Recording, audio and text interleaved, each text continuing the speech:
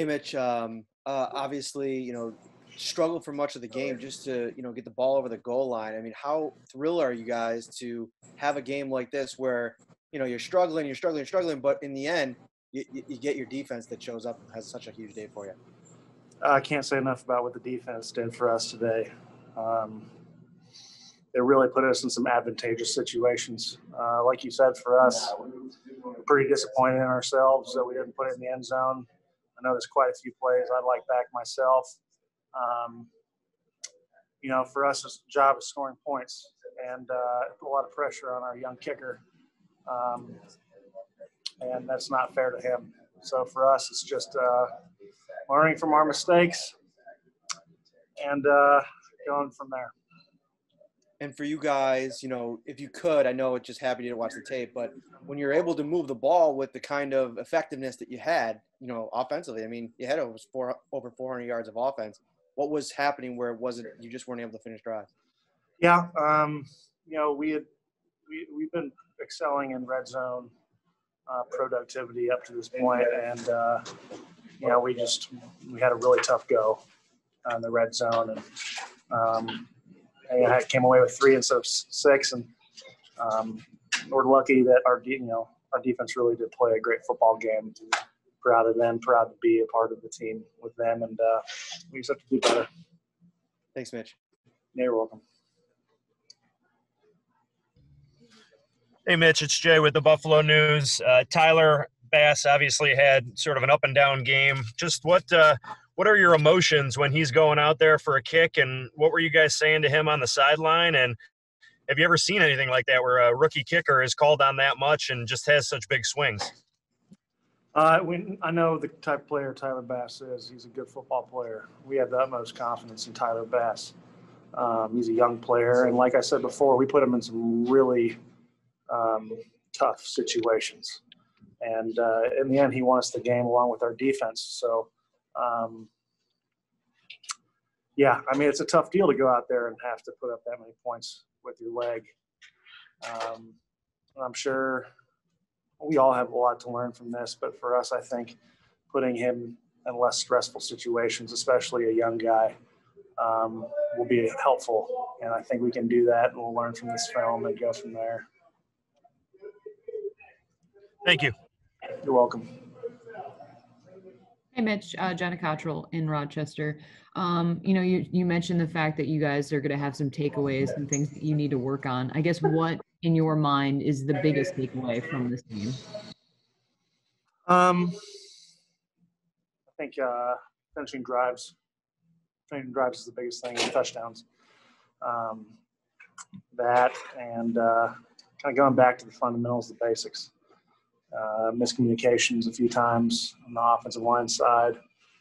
Um, we can do better in that regards. So uh, a lot to learn from this game. A lot to come back and uh, uh, we'll we'll have a great week, a great challenging week for uh, you know another divisional opponent who's quite good.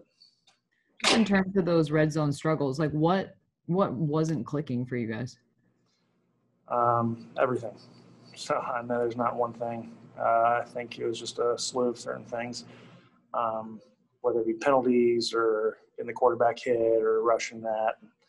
Um, I know for me, my stake or my stance, I could do a lot better protecting the QB. So um, it's a terrible feeling to for that to fall on you as an offensive lineman to see your often your quarterback getting crushed because you either had a miscommunication or just bad technique. So um, we'll learn from it and uh, we'll go from there.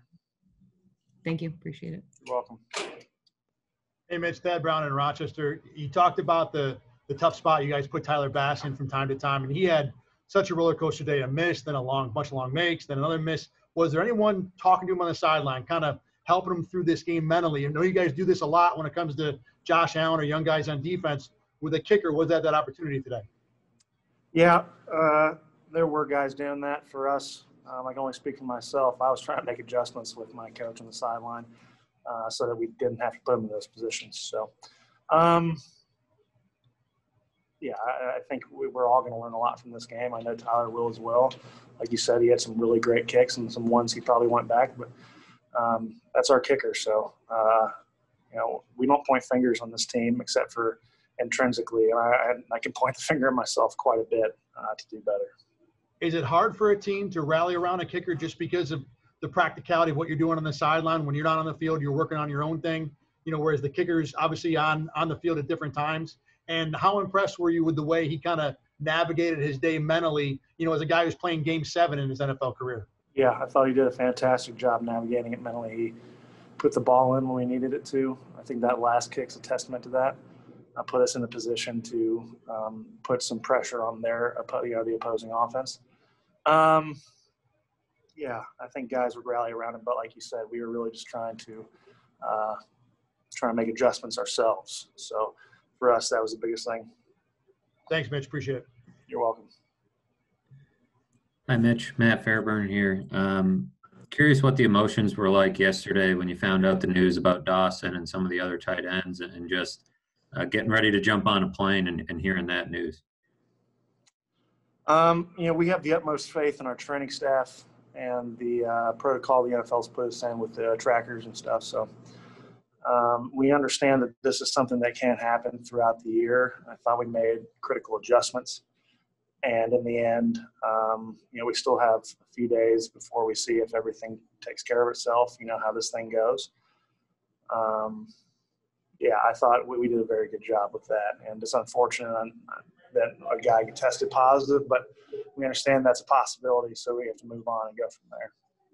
You mentioned the your kicker there and the defense kind of won this one for you. Just the last three weeks, uh, the offense hasn't quite been what it was in the first month of the season. No, you're not going to put up 40 every week, but but w- what do you do to get the confidence back that that seemed to be there in the first month?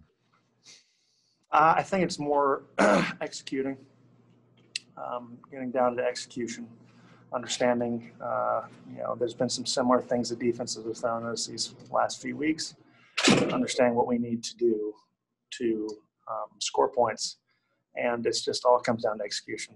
Uh, like like I said, for me, uh, pretty disappointed in how a few things played out for myself, um, and I put my guys in some disadvantageous situations. So um, a lot to work on.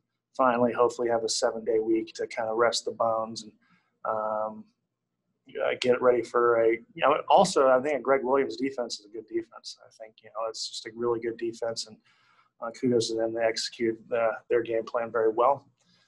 Um, but for us, we have a lot of work to do uh, coming up on a very tough divisional opponent.